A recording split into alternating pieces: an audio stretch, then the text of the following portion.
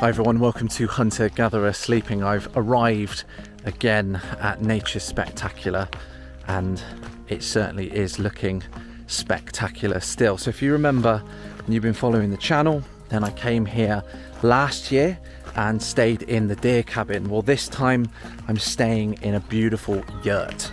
I've dubbed this event yurting. I believe you can use that as an adjective. One can yurt.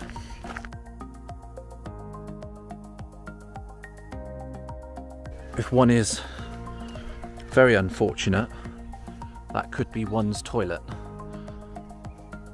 It doesn't look great, does it? Now, from memory, I think the yurt was at the bottom. And if you need to look up any information on this stay, then I'll put all the links and anything like that in the description below. Feel free to ask any questions you like. This is what you're paying to see. Just look at that. That is Chew Valley Lake at its finest. Now there's lots of different types of accommodation that you can um, stay in here. This one here is Big Red. It's a big old truck that's travelled the world. And a lot of them do come with these amazing little outdoor hot tubs. Unfortunately, the yurt doesn't, but uh, a lot of them do. These are the trucks that you sort of drag along from the car to bring all your stuff. It's another outdoor dunny. Now, from memory, this is the yurt. Look at the rabbit. Rabbits. Wow. More rabbits.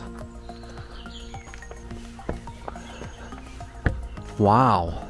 Not a bad view at all.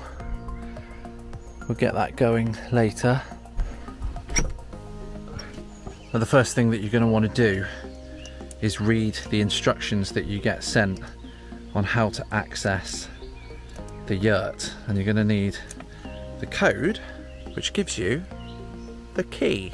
And then from there it's got a proper door. And if we open this oh my god. Wow. Wow wow wow.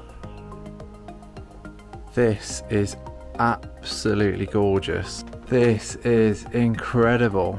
Fresh towels, full table, a little bit of electric over there.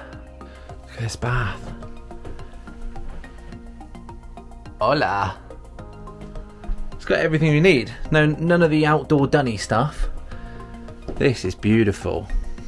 Now, hunter-gatherer sleeping is nothing without hunter-gatherer cooking, so I'm going to get all my stuff down from the car now, get that fire lit, and then we're going to have some burgers. Okay, now that the fire's on, things are in, let's have a little look in here. Amazing. We've got some ice in there. And here, amazing. So this is from Meatbox in Bristol. Some beautiful black pudding, some sausages, some beautiful looking bacon, burgers for tonight and a lamb leg. Awesome, we're going to cook that tomorrow. Right, let's see how that fire's doing.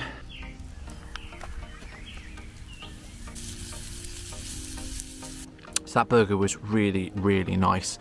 You can order all the meat as well if you um, if you want to get that sort of prepared for your stay.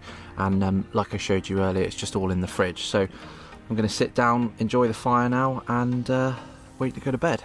I've just by accident discovered something utterly phenomenal. Right, listen to this.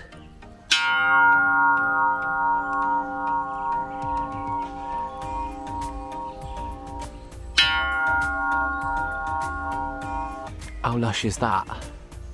Morning everyone. Had a fantastic sleep. Have a little look at this. Just look at this view. What a morning absolutely stunning. So I'm going to get dressed and start breakfast in a minute. I was up pretty early. As you can imagine, when the sun comes up and it comes through the middle of that yurt, it was quite something listening to the birds this morning. Anyway, let's get breakfast on. So I'm sat here this morning, the fire on. I've got a pot of coffee, freshly ground, and the sausages are on. Um, I did forget the eggs, can you believe? Um, so it's going to be a bit of a, a meat feast this morning, but um, no surprise there. The yurt itself is so beautiful. The thermostat, which I found um, at the end of the night. Um, you can just adjust the floor temperature, and it's amazing how warm it actually gets. I needed to turn it down um, basically to minimum, really, and it was just perfect at that point. It's got hot water. It's got run. It's got running water, hot water. It's got everything that you need. It's it's nicer than a lot of hotel rooms, and the view is just amazing. Like, and the sounds. Again, not seen anyone yet. I'll probably go for a walk in a bit. The stay was absolutely amazing. I cannot tell you how much I rate this place. If you're anywhere near Bristol or you want to make a trip here, it is well worth it. The scenery is stunning, everything is immaculate, and you will absolutely love it. Again, all the information is in the description below, check that out. Remember to hit that subscribe button, and I'll see you for the next sleepover.